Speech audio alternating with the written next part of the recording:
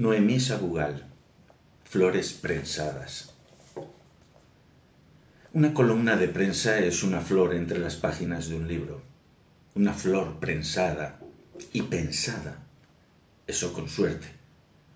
Con menos suerte cuando pasa el tiempo una columna, esa flor de un día, es polvo. Las columnas florecen en un minuto en una semana. Como sea, su destino es marchitarse pronto. Si hay algo valioso en ellas, pueden al menos presumir de conservar parte de su color. Si incluso conservan, tenue, apenas perceptible, algo de su olor, eso ya es un misterio. La poesía, la novela, el cuento, el ensayo o el teatro aspiran a leerse siempre. La columna de prensa es mucho más humilde.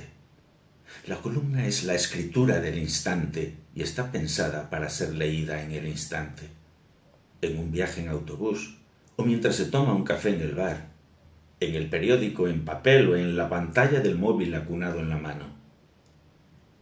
Si el lector o lectora encuentra en estas columnas un destello, un poco de humor o algo de memoria compartida, su recopilación habrá merecido la pena. No son las flores frescas que fueron, pero tal vez mantengan algo del interés de las figuras detenidas en los viejos mosaicos. El glisando del afilador. Hacía mucho tiempo que no oía el chiflo del afilador. Unos días atrás lo escuché bajo mi ventana y tal vez por eso, en las últimas horas, se ha abierto un agujero en el cielo por el que han echado calderos de agua. Son las ideas absurdas que tiene el pensamiento mágico, pero, pero resulta que pasa el afilador y llueve Casi nunca logro ver al afilador. Cuando oigo el chiflo y me asomo a la ventana, ya ha desaparecido tras la esquina del edificio de enfrente. Alguna vez lo he encontrado en la calle, de lejos, con su bicicleta vieja y su cartera de cuero, con los útiles de su oficio. Pero nunca me he acercado a preguntarle si, si su vida depende de afilar cuchillos y navajas si las tijeras recién limadas le sirven para cortar las facturas de la luz y del agua. ¿Vive el afilador de sus afilados o resiste junto a su bicicleta como si tuviera el deber de mantener un trabajo que tal vez nadie haga en un lustro? Tirurí, turirú. Suena el chiflo y no tiene la maestría del glissando con el que comienza Rhapsody in Blue. Pero emociona más, porque suena a infancia y a un oficio que se está perdiendo.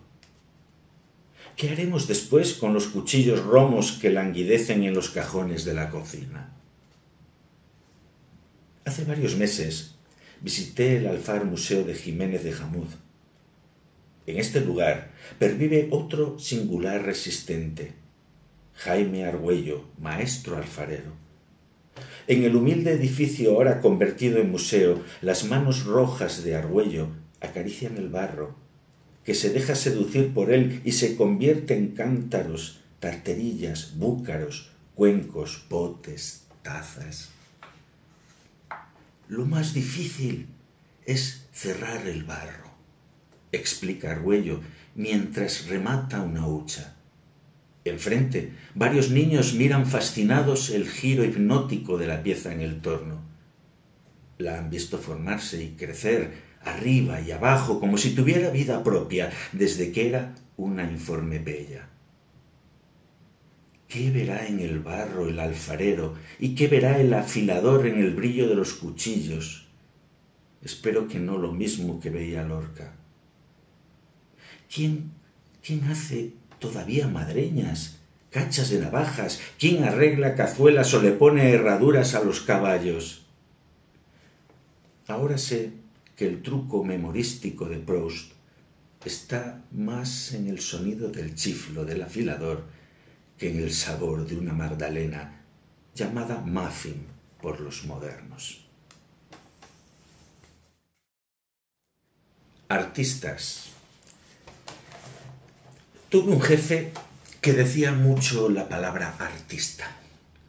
La pronunciaba con ese tono entre la burla y la condescendencia que usaba para casi todo.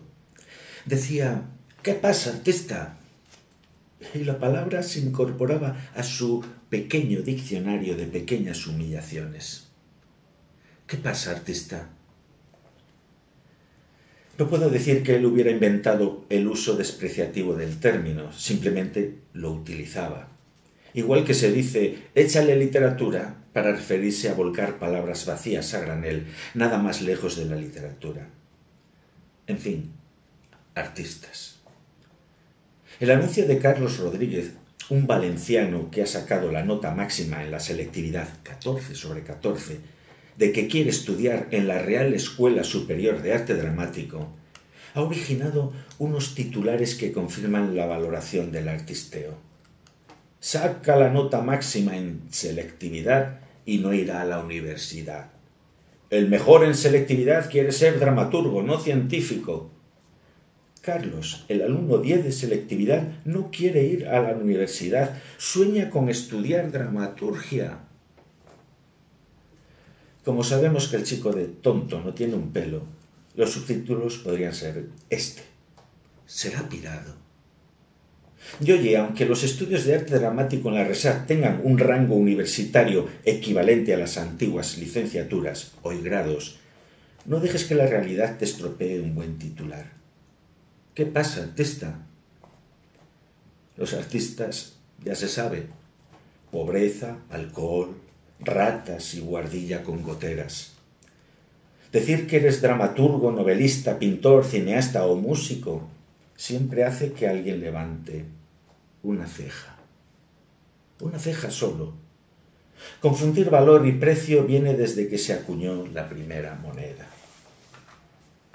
Hace unos días leía un artículo de la revista Letras Libres titulado Escribir libros es el peor negocio del mundo.